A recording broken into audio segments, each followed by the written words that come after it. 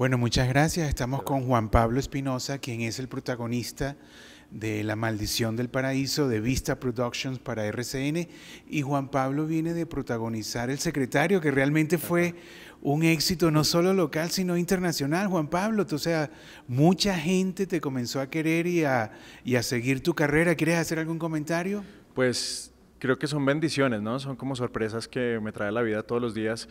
Con el secretario estaba tomando un riesgo muy grande, eh, y tomaron un riesgo muy grande conmigo también y fue una maravilla ver cómo respondió el público.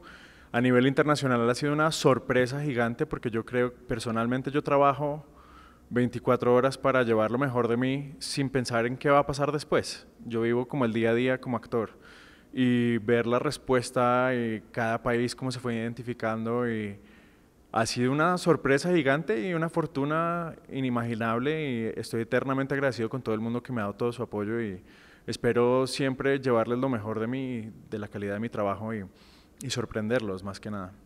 Ahora, Juan Pablo, tú como, como ser humano, como profesional, has unido la, vamos a llamarlo así, el arte de la actuación con, la escuela, ¿no? Porque tengo entendido, vienes de, Boston College, eh, arte, ¿no? Luego, esa, esa formación profesional también la has unido con, con tu eh, eh, ser humano, ¿no? Porque eres un human being, o sea, la gente ha comenzado a quererte y, te has comenzado a posicionar como uno de los actores fuertes colombianos. No sé si quieres eh, agregar o decir pues, algo. Primero, gracias, porque, pero sobre todo creo que, que esa es una clave y quiero compartirlo con todo el mundo.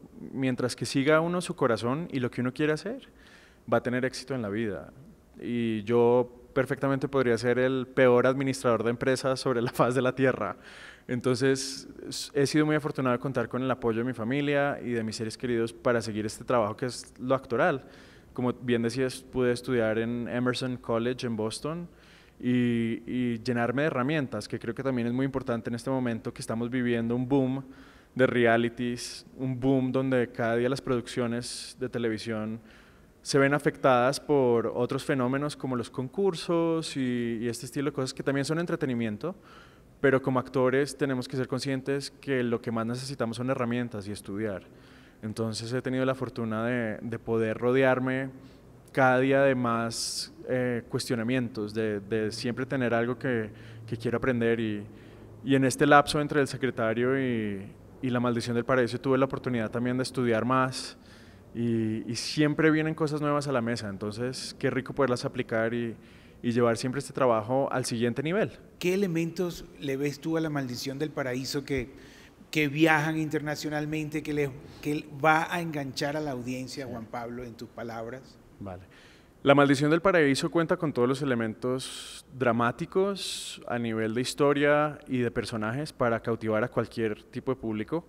Es una fortuna realmente que en un año como el 2012, Dios quiera 2013, eh, esté saliendo esto al aire, va a contar con cosas muy actuales. Entonces, creo que, que todo el mundo se va a poder identificar. Es un drama familiar, eh, tiene humor, tiene cosas muy oscuras que yo creo que también redefinen mucho lo que estamos haciendo a nivel de producción en Colombia, tomando riesgos, donde estamos acostumbrados a ver novelas de otros países o de pronto a quedarnos en el melodrama, y aquí le estamos huyendo realmente al melodrama y tratando de construir algo mucho más humano y mucho más real, con todo lo, lo que abarca, lo bonito, lo feo, lo amargo, lo sucio, por decirlo de alguna manera, y, me enorgullece pensar que, creo que es una historia que, va a cautivar a, audiencias de todos los países, porque realmente todos hemos sentido envidia, todos hemos sentido eh, ganas de conquistar algo que de pronto es un poco prohibido. Y esto es muy humano y juega con esos sentimientos. Entonces yo creo que cualquier ser humano que haya sentido en su vida que quiere algo que está prohibido se va a sentir identificado con este proyecto expectativas eh, para este proyecto, La Maldición?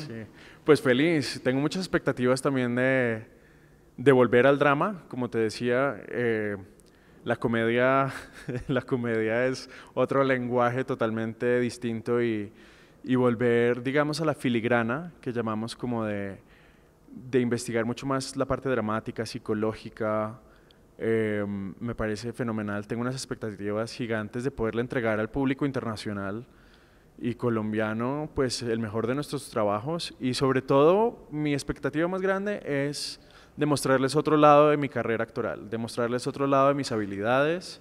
Es drama. Drama y sobre todo un personaje totalmente contrastante al, al secretario. Al secretario, que el secretario era pura bondad y una persona muy sensible y tierna. Em, a, llegar a un lado donde ya este hombre es rebelde y creo que más de una persona se va a escandalizar porque ya, ya en las pruebas alguien me decía, pero, pero el secretario no puede hacer eso. Y yo, mm, créanme que es capaz de uno de muchas cosas, pero sí es una maravilla.